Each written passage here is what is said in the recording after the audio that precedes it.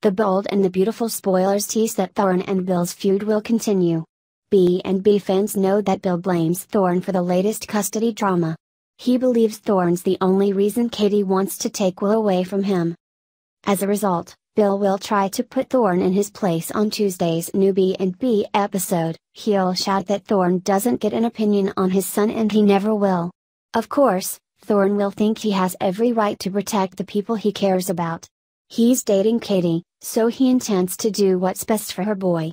Thorne will keep pushing Katie to seek sole custody, so Will's going to remain at the center of the conflict. The bold and the beautiful spoilers say Bill will be willing to play dirty if need be, but so will Thorne. Since Will's been burned by Bill lately, he won't want to hang out with his dad. Naturally, Thorne will think that proves Bill shouldn't be around his kid. He'll plan on using Will's disdain for Bill as ammo in the custody case. Meanwhile, Liam will feel a bit out of place in Steffy's home. Now that he's moved out, things will be awkward during his latest visit. However, Steffy won't want Liam to think he's not welcome. She'll argue that he can still spend as much time with Kelly as he wants. By the end of their chat, Liam should feel more comfortable with the idea of dropping by. Unfortunately, Hope could battle some jealousy soon. As her ultrasound appointment draws near, Hope will go off in search of new husband and baby daddy. She'll find Liam with Steffy and Kelly, so there could be some tension in the room. Hope supports Liam's other family, but she doesn't want him to neglect his family with her. She may suspect that his child with Steffy is always going to come first. Sadly, another incident will feed Hope's suspicions later this week, August 27th to 31st. It sounds like there's already trouble in Lope Paradise. We'll give you updates as other bold and the beautiful news comes in.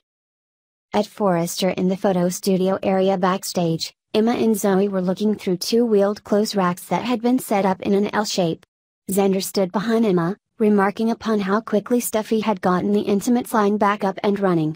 Zoe started to comment, but Emma cut off her, noting that Steffy had arrived.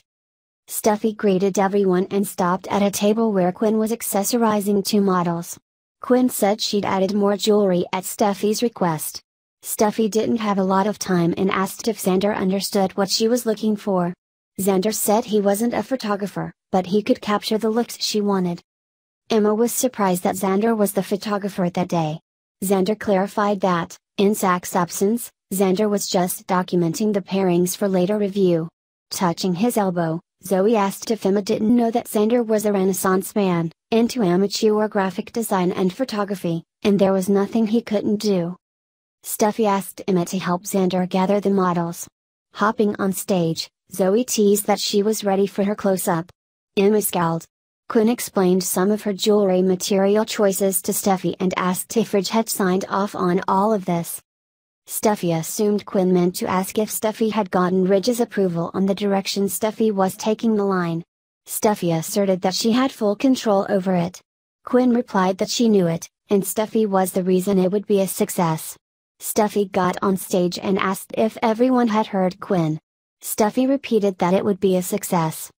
As everyone cheered, Ridge arrived. He told his daughter that, for what it was worth, he liked what he was seeing. Steffy said it meant a lot for her father and co-CEO to say it. Steffy announced the beginning of the test run through and started the music.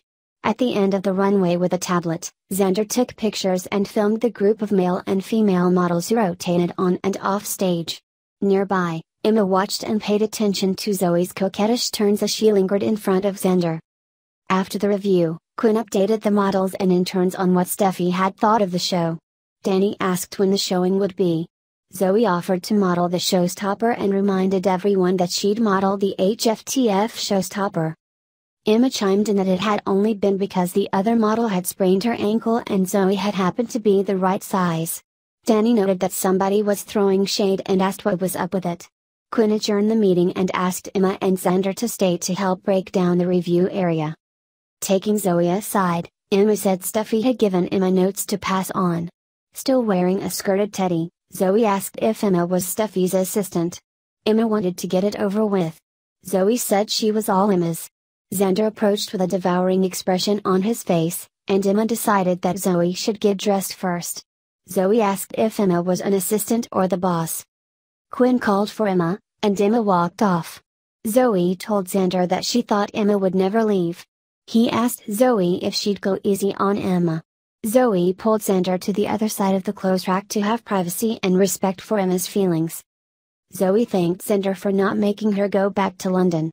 She appreciated her job at Forrester and liked what was between her and Xander. Maybe a bit more eventually, she said and kissed him. In the CEO's office, Ridge was proud of Steffy and said she was doing what she'd set out to do. Steffy was glad to have a fan. Questioning that there was just one, Ridge stated that the models and interns would do anything for her, and he was happy that the Bill chapter was behind her. He said Bill had caused a lot of damage and was still at it. Rich told Steffy about Katie possibly filing for full custody of Will and said Thorne believed that Bill's neglect over the last months had really hurt the child. Steffy empathized with Katie but said God only knew how Bill would react to such an action. At Katie's house, Bill asked if Katie would actually go through with suing for sole custody. Thorne said Bill had given Katie no choice. Bill ordered Thorne to shut up because it didn't concern Thorne.